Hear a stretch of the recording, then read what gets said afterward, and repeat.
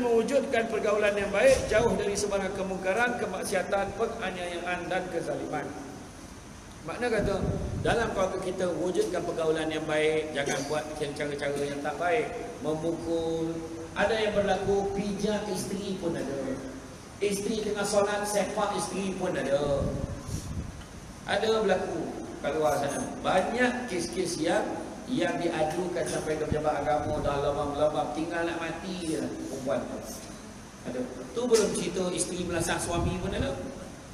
Ada gagak perempuan ini ha, main-main. Jadi apakah dikatakan ciri-ciri keluarga sakinah mawaddah warahmah itu? Maka menurut hadis Nabi wasallam asas keluarga sakinah itu ada empat perkara. Empat hal kata Nabi. Empat hal yang akan membawa menjadi faktor pendatangan kebahagiaan keluarga adalah yang yang pertama suami isteri yang soleh solehah. Yang kedua, anak-anak yang berbakti, anak-anak nak tolong mak ayah dia. Ha, itu ciri-ciri yang kedua. Anak-anak nak tolong. Ini kita suruh anak tolong kita, kita tak beritahu kenapa dia kena tolong kita. Yang kita beritahu ganjaran kalau dia tolong kita, itu penyakit. Kita tak cakap sebab tanggungjawab anak-anak adalah tolong ibu bapa. Ha, macam tu cakap. Ni tak, tolong mak, mak bagi lima pusit. Kau tolong mak, mak bagi singgit. Awal-awal dah ajar anak satu benda yang kita buat mesti ada ganjaran. Ha, sampailah besar. Termasuklah tanpa kita sedar, bab menuntut ilmu.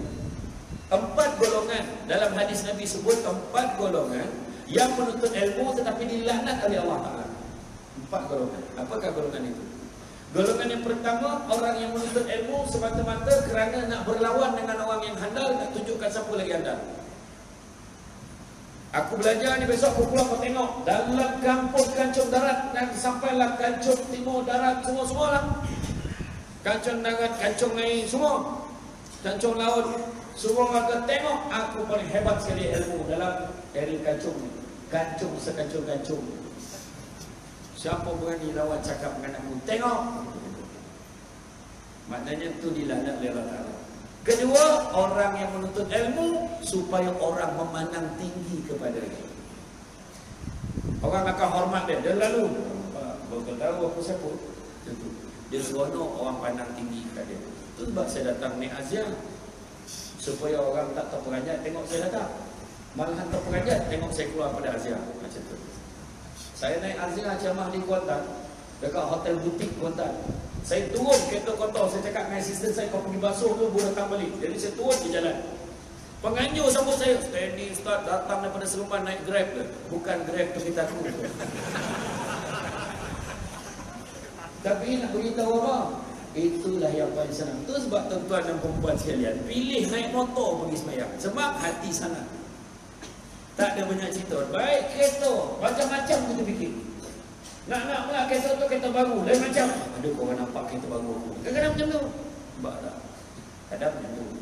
Jadi dia nak orang memandang tinggi pada dia menuntut ilmu. Itu pun dia nak oleh Allah Yang ketiga. Orang yang menuntut ilmu. Semata-mata mencari kekayaan dunia. Nakkan tanah, nakkan harta, nakkan kedudukan. Itu pun dilaknat oleh Allah Ta'ala. Dan yang keempat, orang yang menuntut ilmu kena berlawan sesama orang yang tak pandai macam dia. Lagi tahu dalam grup WhatsApp boleh lawan. Ah ni sebenarnya boleh ke tak boleh? Ni tak boleh sebenarnya. Kau tengok ni, dia wahal pun kotik daripada Google. Dia copy dia masuk konon macam dia pandai sama. Ui, handal lah kau. Wahal sama-sama tak pandai. Itu pun dilanat oleh Allah SWT. Jadi perasan atau tidak, ada mak ayah kadang-kadang mendidik anak tanpa sedar ke arah yang dilanat oleh Allah SWT. Kau belajar rajin-rajin kalau kau nak kaya. Tengok. Kau belajar rajin-rajin besok pakat tinggi, senang. Baru orang akan hormat pada kau. Ha? Tanpa sedar kita ajar anak kita macam tu. Itu sebab kita kena hati-hati. Nampak ya? Ha, ajar, belajar, tuntut ilmu kerana Allah. Itu sebab anak-anak kita mungkin kadang-kadang dia tak pandai akademik. Tapi dia pandai kemahiran. Dia tengok aircon pun tahu. Ini belum on. Dia tahu. Ha, dia tahu. Itu tak payah belajar pun tahu kan. Yalah, maknanya dia tengok aja kereta tu dah tahu enjin ni bermasalah. Rasa-rasa dia mesti spark plug dia ni. Macam, ya betul. Ini rasa bateri ni. Betul. Bukan semua orang boleh macam tu. Orang macam saya memang kena tipu dengan kedai Cina tu bila pergi bengkel. Ini kena tukar, ini kena tukar. Tukarlah. Memang kena tipu. Wah, hal masalah eh. Masalah kepala pelak dia. Bukan ni kata pelak tu habis dengan enjin semua turun. Apa pasal? Itu sebab penting ada orang yang berilmu ni. Ilmu, biarlah kita menuntut ilmu kerana Allah.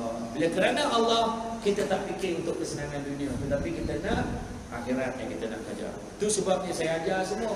Tahun 2020 ni yang paling penting, jangan lupa kita serapkan dalam niat yang kita nak buat. Niatkan kerana Allah. Kita takkan kecewa. Aku ingat aku nak kuruskan badan lah. Tak ada faedah aku ikan badan. Melainkan aku nak kuruskan badan kerana Allah supaya ringan badan aku beribadah kepada Allah. Aku nak kumpul duit banyak-banyak kerana Allah. Sebab nanti dengan duit yang banyak, insya Allah mudah-mudahan aku boleh tolong orang susah ke air kancung ni.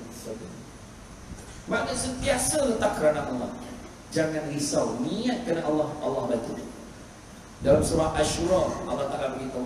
Barang siapa yang mengejar keberuntungan akhirat, Allah akan tambahkan keberuntungannya di dunia. Jadi so, Allah akan tambah. Maknanya cari akhirat dunia pun dapat.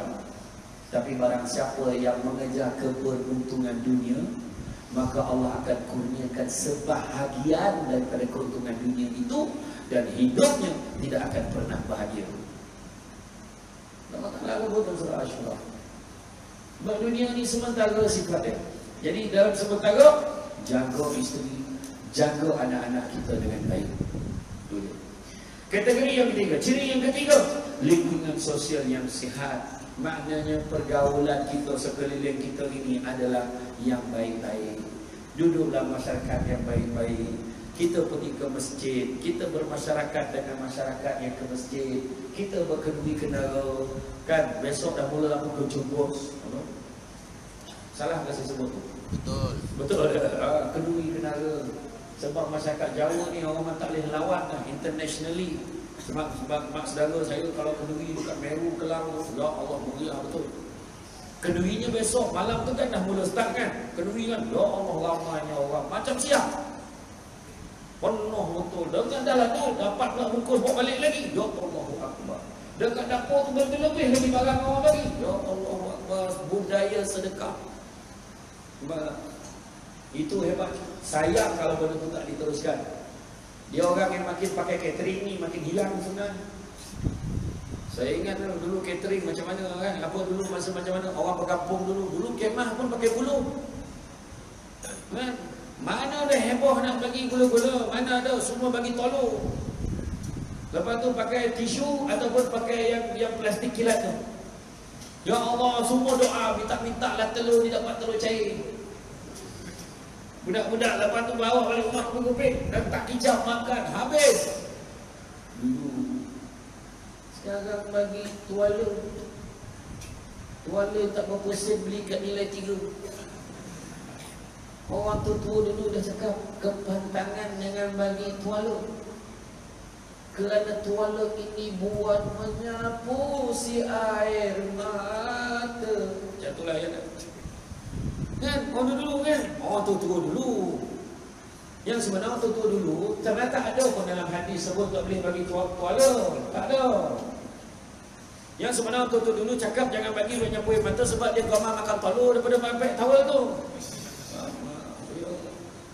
Tapi memang dulu yang penting dulu yang buluh tu bukan buluh itu. Bukannya penanggah tu, bukannya yang angkat dulang tu tetapi nak tunjuk nilai kerjasama masyarakat antara satu dengan yang lain bila kedui. Mengajak dulu mana dia pakai WhatsApp. Mak ayah ni dah bincang dah. Kita nak start mengajak daripada kampung di mana dulu. Lima bulan sebelum dah pergi mengajak. Macam mana? Dulu bertunang berani jantan tu pergi. Nak kena penambah pergilah.